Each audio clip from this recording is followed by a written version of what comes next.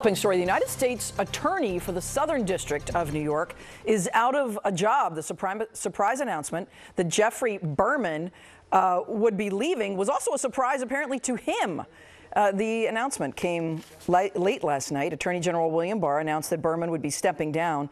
Berman fired back in a statement saying he learned that he was stepping down, not his words, from a press release. He said he has no intention of resigning, will step down once a presidentially appointed nominee is confirmed by the Senate.